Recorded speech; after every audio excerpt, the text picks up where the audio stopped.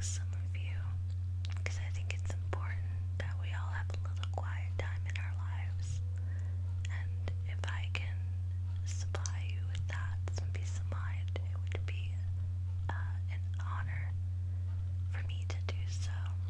So if you allow me to speak to you and to soothe you for the next